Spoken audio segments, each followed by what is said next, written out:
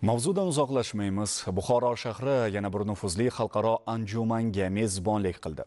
Yadro tibbiyot mavzusidagi xalqaro ilmiy konferensiyada qator dolzarb masalalar muhokamalar markazida bo'ldi.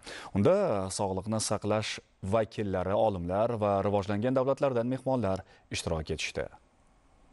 O'zbekiston Fanlar akademiyasining 80 yilligiga bag'ishlangan konferensiyada dunyo olimlari so'nggi yillardagi sohaga doir yangiliklar yuzasidan o'zaro fikr almashish imkoniga ega bo'ldilar. E'tiborli tomoni, tadbirda yetakchi milliy ekspertlar saraton kasalligini kompleks davolash va diagnostika qilish masalalarini muhokama qilishdi. O'zaro muloqotlar davomida zamonaviy yadro tibbiyoti texnologiyalaridan foydalanish, radiofarmatsevtika vositalarini ishlab chiqarish, radiatsiyaviy xavfsizlik muammolari, sohani huquqiy tartibga solish haqida ham so'z bordi.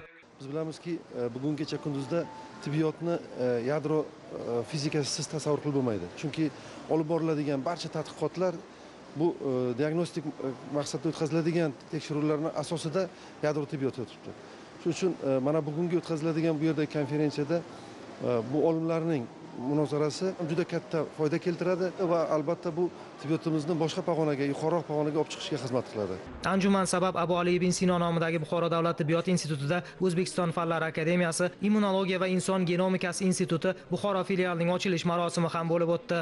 Filialimiz ochilishidan maqsad ilm bilan e, shug'ullanuvchi kadrlarimizni eksperimental laboratoriyada demak e, turli xildagi tekshirish usullari immunologiya yo'nalishida inson genomikasi ya'ni molekulyar genetika yo'nalishida tadqiqotlar hozirgi paytda demak shu filialimizda demak e, olib boriladi. Aytishurilli mazkur institut immunologiya va inson genomikasi bo'yicha ilmiy tadqiqotlarni yanada takomillashtirish keng tarqalgan kasalliklarning immunodiagnostikasi immunoprofilaktikasi va immunoterapiyasida innovatsion texnologiyalarni yaratish shuningdek mazkur sohada yuqori malakali mahalliy kadrlarni tayyorlashga ham xizmat qiladi.